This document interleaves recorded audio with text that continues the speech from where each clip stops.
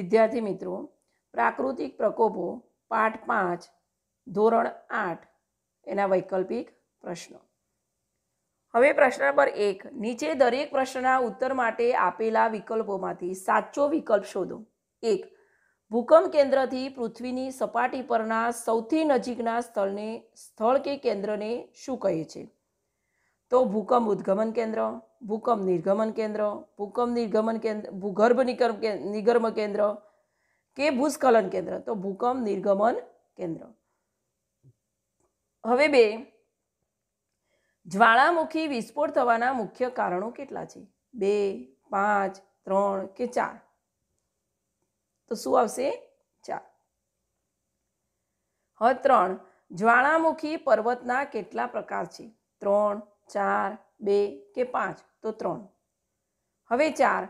Tsunami મોજાની લંબાઈ આશરે કેટલા કિલોમીટર હોય છે? આઠસોથી બારસો, પાંચસોથી પંદરસો, સાતસોથી સોળસો કે છસોથી નવસો? તો સાતસોથી સોળસો. હવે પાંચ. જાપાનમાં સુનામીની મોટી હોનારત કઈ સાલમાં થઈ હતી? બે હજાર ચારમાં, બે હજાર આઠમાં, બે હજાર દસમાં કે બે હજાર અગિયારમાં? તો બે હજાર અગિયારમાં. હવે છ, અનાવૃષ્ટિની સંભાવના ઓછી કરવા શાનું પ્રદૂષણ અટકાવવું જોઈએ? નદીઓનું, વાતાવરણનું, જલનું કે જમીનનું? તો વાતાવરણનું. હવે પ્રશ્ન નંબર બે, યોગ્ય શબ્દો વડે નીચેના વિધાનોની ખાલી જગ્યાઓ પૂરું. એક, આંતરિક ખાલગ્યાને કારણે ભૂકંપ થાય છે, તો ભૂસંચલન. બે, ભૂકંપની સૌથી વધુ અસર ભૂમિ સપાટી પરના ખાલજી કે કેન્દ્રના વિસ્તારમાં થાય છે તો નિર્ગમન. ત્રણ, ભૂકંપની અસર ભૂકંપના ખાલી જગ્યા ઉપર અવલંબે છે તો વેગ. ચાર, લાવાની જમીન ખાલગ્યાયુક્ત હોવાથી ફળદ્રુપ હોય છે તો પોટાશ.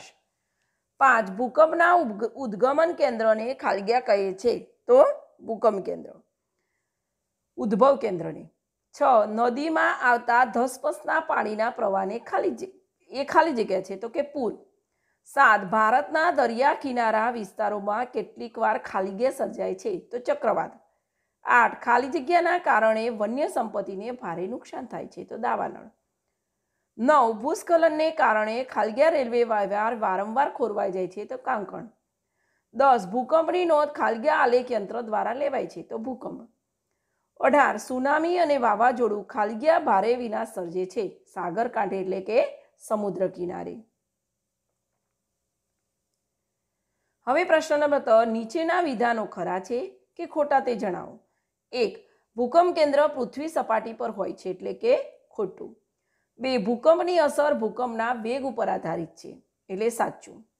ત્રણ મેઘમાની નીચે રહેલા ભારે વાયુઓ મેઘમાને નીચે ધકેલે છે, ખોટું. ચાર, જ્વાળામુખીના વિસ્તારમાં કોઈ કોઈ જગ્યાએ હીરા મળી આવે છે, સાચું. પાંચ અનાવૃષ્ટિથી બચવા માટે બંને એટલા વધુ વૃક્ષો વાવવા જોઈએ. સાચું. છ દાવાનળને લીધે વન્ય સંપત્તિને પારાવાર નુકસાન થાય છે એટલે સાચું. હવે પ્રશ્ન નંબર ચાર છે બંધ બેસતા જોડકા રચો. વિભાગ અ અને વિભાગ બ. એટલે પેલું છે લાવા. લાવા એટલે શું આવશે? જ્વાળામુખી. ચાર નંબર. હવે બે, શક્તિશાળી અને વિનાશક સમુદ્રીય મોજા. એટલે કે સુનામી. એટલે એક.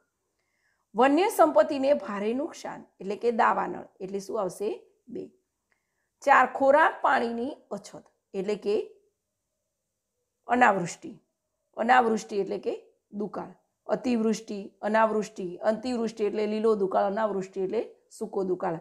એટલે દુકાળ, એટલે ખોરાક અને પાણીની અછત સર્જાય. બરાબર છે? હવે આ જોડકા, ખાલી જગ્યાઓ, ખરા ખોટા,